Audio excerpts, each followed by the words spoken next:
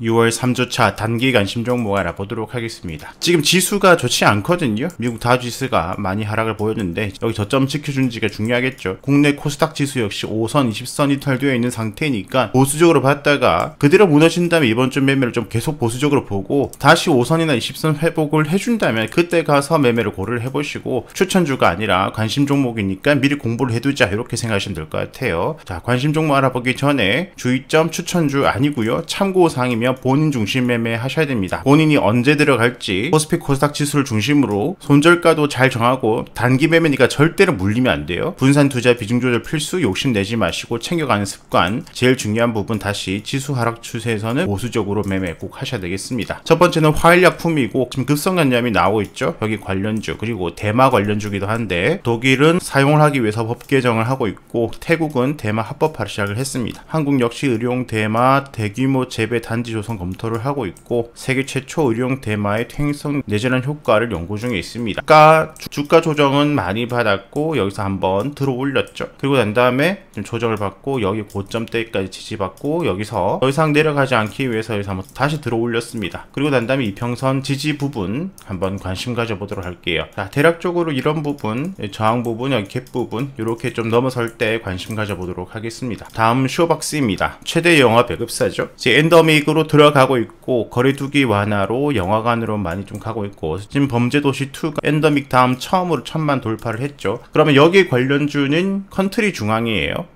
이 종목도 같이 보시면 될 것 같고 관종으로는 쇼박스 영화 산업 전체적인 상승 흐름 그리고 올해 최대 기대작 비상선언이 조만간 개봉 예정이 있습니다. 지금 봤을 때는 8월 정도 할 것 같은데 미리 한번 움직여 줄지 한번 보고요. 이렇게 내려오던 것을 돌려 세웠어요. 저점 계속 올라가고 있고 고점대 돌파를 한번 해줬고 여기에 중간 정도가 요 정도가 되죠. 이 시세의 중간 정도를 다시 회복 중에 있습니다. 5선 타고 올라가고 있고요. 5선 이탈한다면 다음에 이평선 지지 반등할 때 좀 보면 될 것 같고 이대로 만약에 타고 올라간다면 이번 주에 관심을 가져보도록 할게요. 대략적으로 요런 라인 돌파를 할 때 관심 가져보도록 하겠습니다. 다음 서울 옥션입니다. 미술 경매 회사인데 시장이 성장하고 있고 경매 영역 다각화, 뭐 사업 다각화 그리고 NFT 관련주입니다. 실적 성장을 계속 해주고 있는 회사이고 많은 상승 다음에 지금 조정 구간 여기 이렇게 박스권을 그리고 있죠. 하락, 상승, 하락, 이제 상승 여기를 갈지 또 여기를 돌파를 해줄지 관심을 가져보도록 하겠습니다. 이평선 모인 것들 지금 돌파가 되어 있는 상태이고 여기 고점대 지금 돌파 중입니다. 내려간다면 저점 또 지켜주는지 보면 되겠죠. 그죠? 대략적으로 이런 부분을 돌파를 할 때 관심 가져보도록 하겠습니다. 다음 제일 테크노스입니다. 건축 관련 회사이고 교량 건축물 시공 시 가장 먼저 설치되는 바닥 재료인 deck plate를 주력으로 하는데 우크라이나 재건 관련주로도 포함될 수 있고 그다음 원전, 물류센터, 조선 모든 건설 관련 산업에 필요한 것이기 때문에 다 수혜가 볼 수 있는 회사이고 올해 최대 실적이 전망되는 회사입니다. 지금 이 회사는 만원 round figure를 계속해서 조정받고 찔러주고 조정받고 찔러주고 하고 있죠. 예, 조정받고 올라가는 중인데 이 시세의 중간 정도를 지금 넘어서주고 있습니다. 조정을 크게 받는다면 60, 120 조정받고 다시 반등할 때 꼭 봐야 될 자리일 것 같고 만약에 이번에 치고 올라간다면 관심을 가져보자 이렇게 보면 되겠고 대략적으로 이런 라인을 돌파를 할 때 관심 가져보도록 하겠습니다. 다음 러셀입니다. 반도체 장비 로봇 회사이고 자회사가 상장 준비 상장 이슈가 하나 있고 삼성전자의 로봇 투자 상승 조정 지금 매우 이쁘게 우상향을 서서히 그려나가고 있죠. 추세 이렇게 만들어 주고 있어요. 상승 하락 상승 하락 이렇게 하다가 상, 하락 상승 쪽으로 가고 있는데 지수가 안 좋아서 이번에 갈지 안 갈지도 모르겠지만 추세도 만들어진다면 관심을 가져보도록 하겠습니다. 있습니다. 위에는 5천원 round figure 있거든요. 여기 돌파가 중요하겠죠. 대략적으로 이런 라인 돌파를 할 때 관심 가져보도록 하겠습니다. 다음 나무가입니다. 뭐 VR 카메라, 메타버스, 로봇 여기 다 걸쳐져 있는 것이고 4차 산업의 핵심 중에 하나가 카메라 모듈 그리고 과거에는 삼성이 로봇에 투자한다 거기에 한 번씩 이렇게 반응을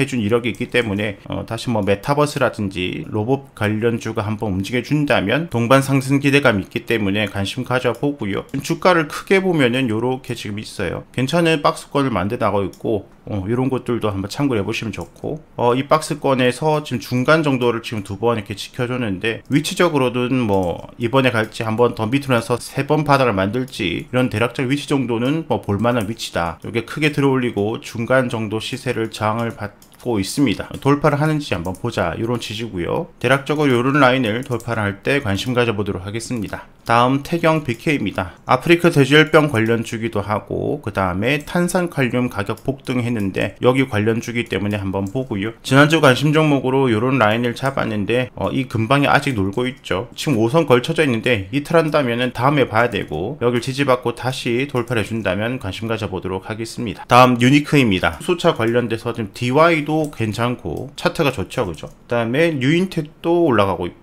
원익 머티리얼즈, 어, 시노팩스 수소차가 다 같이 조금씩 움직여 주니까 이대로 계속 움직여 줄지 한번 보자는 취지고 지금 20선을 두고 계속 이렇게 타고 가고 있죠. 20선 이탈 전까지 계속 관심 가져보면 될 것 같습니다. 대략적으로 여기 지금 고점대 만들어지고 있죠. 이 라인 중요하게 보도록 하겠습니다. 다음 SNU, 나레 나노텍 함께 보고요. 둘 다 OLED 관련주인데 OLED 주도 조금 조금씩 움직여 주기 때문에 함께 보도록 하겠습니다. 지금 좀 시장이 안 좋을 때 좀 소외되었던 주 중에서 움직여주지 않을까 그 중에서 OLED를 한번 볼까 생각을 하고 있고요. 여기가 지금 저항대죠. 두 번 크게 윗꼬리를 찔러 주었는데 이 윗꼬리 여기 위쪽으로 주가가 살짝 이렇게 올라가고 있어요. 중심 정도를 다시 이렇게 돌파를 해주면은 어, 좀 먹을 게 있지 않을까 한번 관심 가져보도록 하겠습니다. 대략적으로 요런 라인 여기 캡의 아래 꼬리 그리고 이 캔들의 중심 정도 되는 부분을 넘어설 때 관심을 가져보도록 하겠습니다. 나레 나노텍도 OLED 장비 관련주고 그리고 신규 사업도 진출을 하고 있고요. 상장한 지 얼마 안 됐는데 신규 상장주 한번 움직여 줄지 상장하고 난 다음에 계속 조정을 받고 오랜만에 거래량이 크게 좀 들어왔어요. 요런 라인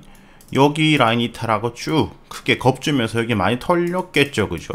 그리고 난 다음에 거래량이 쑥 들어오고 한 번 더 거래량이 더 크게 들어오고 그죠? 그리고 그 부분이 만원 라운드 피겨. 여기 부분을 지켜줬다가 지금 올라왔는데 이번에 못 가더라도 내려온다면은 다시 이 만원 그리고 만원을 돌파했을 때 이 큰 장대 양봉의 저점대 이런 곳을 내려서 지지를 잘 받아준다면 다시 반등 이 부분도 다음에 한번 보면 좋을 것 같아요 22평도 돌파를 하고 5선 타고 가고 있고요.